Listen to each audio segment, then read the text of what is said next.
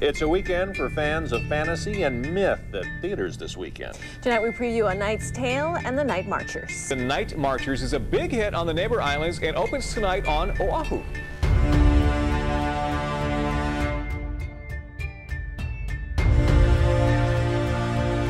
The Night Marchers, where the road ends, as they say, the legend begins.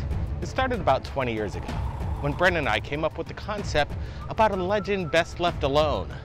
As children growing up in the schools here in Hawaii, we heard of the legends known as the Night Marchers.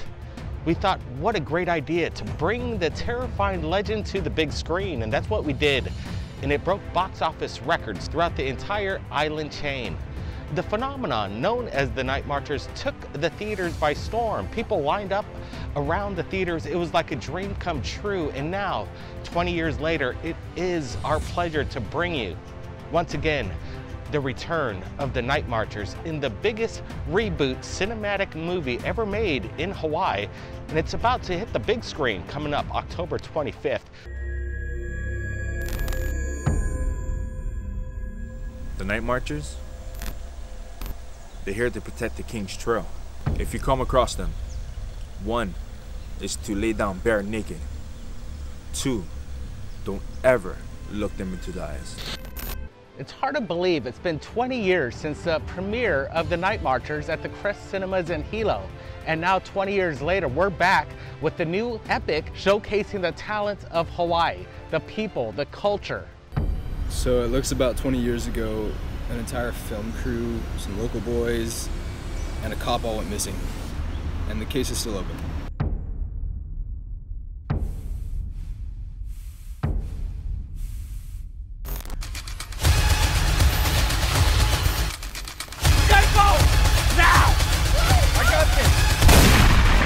Disrespected the Aina.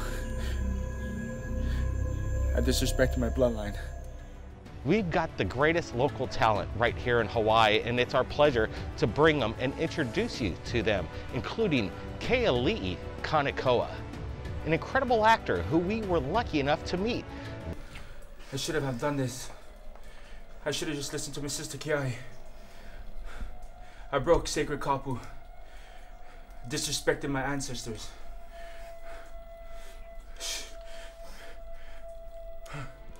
Some of the local talent and the acting right here in Hawaii is some of the best. We also have Anuhea La. Her incredible performance stills the show, and it is quite a sight to behold.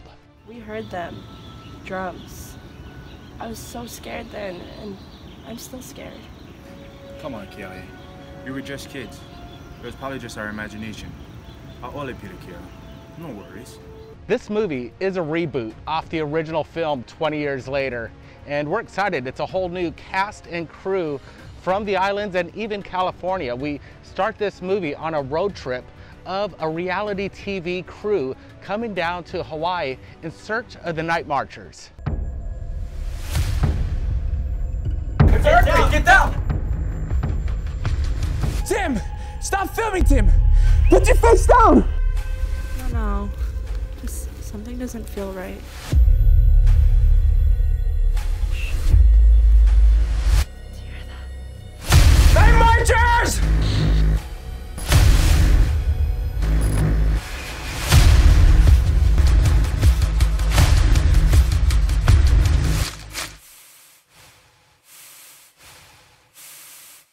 What happens to this film crew will leave you stunned. It's a terrifying tale of the Night Marchers colliding with haoles, basically, from the outside. And the crew soon realizes that delving into this legend may not be best for their health.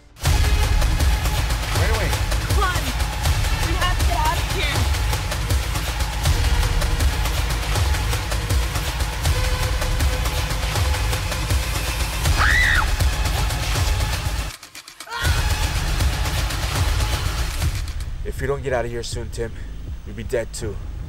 I won't wait for you.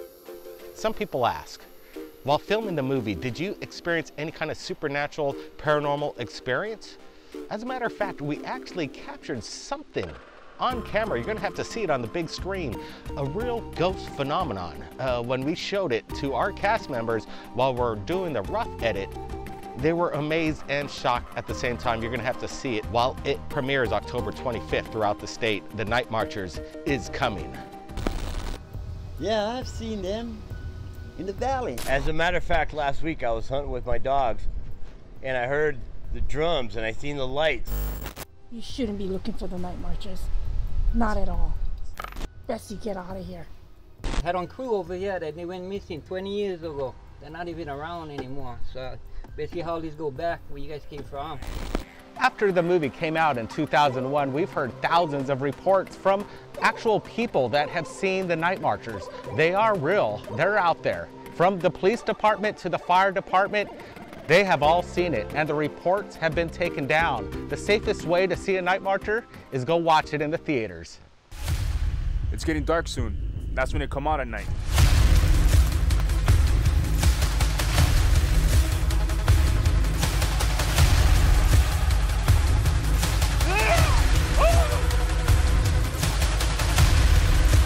We need these shots. I got it. Come on.